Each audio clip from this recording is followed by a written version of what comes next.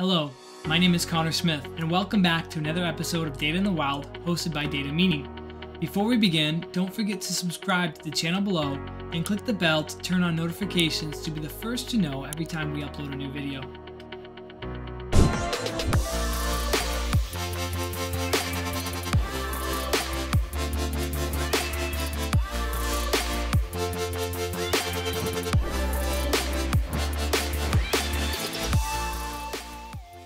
Today we're covering how to use the run command tool to write to a copy of a formatted template file. You can see here I have my template file, just a simple Excel file that I'll be working with today. It's located here in this template folder. You can see that it has some simple formatting, just headers are yellow. I want to be able to copy that template file from the template folder to my output folder instead. And once I've made that copy, I want Alteryx to then write to that formatted copy. Okay, so I'm going to go ahead and close my template file and we'll jump in into Alteryx.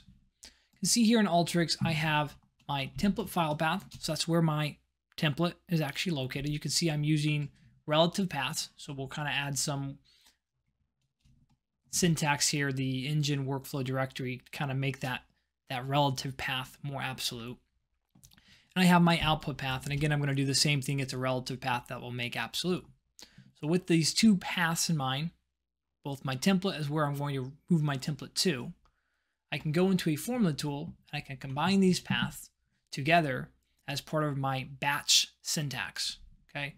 And I'm going to use batch code to make the copy of my template and move it to my output file location. So this batch code is very simple. I'll break it down down here. It starts with the word copy. And then in quotation marks, you see the template path. And then there's a space.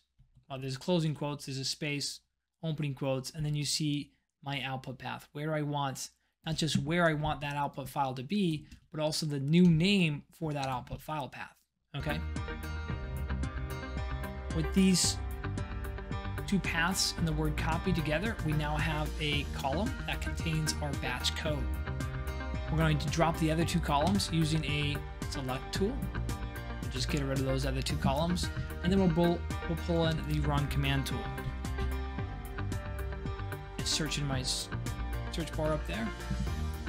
Run command tools, not too difficult to work with, but there are some little things you'll want to be aware of. I'll start by configuring the output. And so what this output is, is you're taking that code you've written and you're outputting it to a BAT file, a batch file. Okay, and that file will be an executable file. So we'll start by naming our file, and I'll just name this, I'll just do this. I'll do your name here.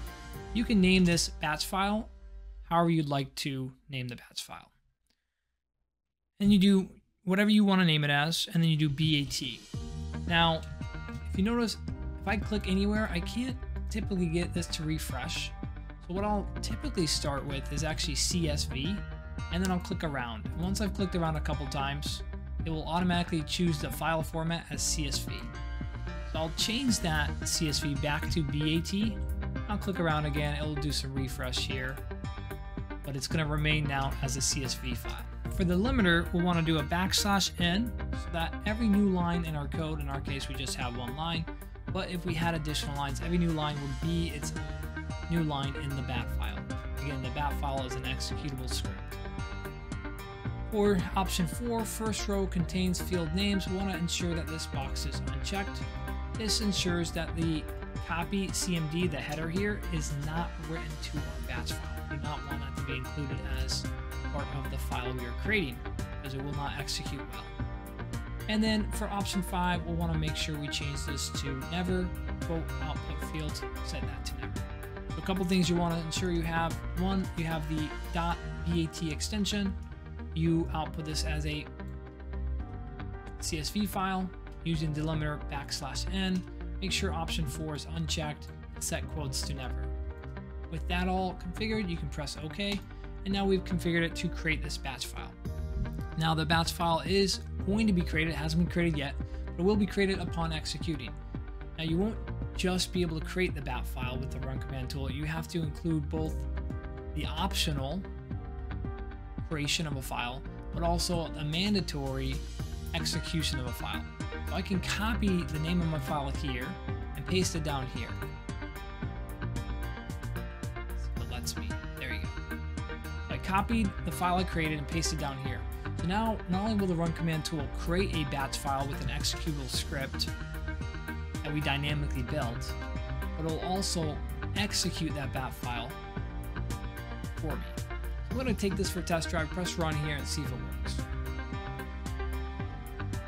Okay, now on my other screen, I did see the command prompt terminal pop up and show that the code was successfully executed. You can see that there's no errors on our machine here, so it's a good sign that the batch or the script did what we expected it to do. Now I said I saw the command prompt pop up on my other screen. If I wanted that to not happen, if I don't want this workflow to always show a command prompt, I can run that command prompt silently. So I can press run again and you'll you won't see, but I can tell you that that command prompt will not pop up on your other screens or your end users. All right, so now we can see again that that script ran successfully. Let's go ahead and take a look at File Explorer to see how it behaved. All right, so what we're seeing here on the output file location, that template file was successfully copied over to here. I can open up this copy of the template file and take a quick look and see what this output looks like. It's an exact copy. The only difference between this copy and the template file is the fact that we've changed the name and the location of where the file is. Now let's see if we can't get Alteryx to write to this template file. So I've already got it kind of set up over here. I'll go ahead and see if this configuration runs okay for us. It's just some same headers as a template and then the data I want to add into my output file. So we'll see if this will run the way I want it to here. Press run. Take a look at the output log here and see a couple things. One, in this instance, the run command tool has executed before our output data tool has. Now this is a really important, crucial step. You'll need the run command tool to execute before you write to your output. Because otherwise, if we reverse these roles for a second, if I wrote to my output before that run command tool executes, what would happen is I'd write my data and then the run command tool would make a copy of my template and overwrite the data I've written. So it would make a copy, paste it into that same folder that I've already written to, and basically get rid of all my data. So you want to make sure that these run in this order. Take a look at the output file. You can see that the output file does successfully contain the headers with the new data outputted from Alteryx. That wraps up today's quick video on how to use the run command tool to write to a copy of a formatted template file. If you have any questions or suggestions for future videos, please comment below. Don't forget to subscribe to know when future videos are posted. Thank you for watching.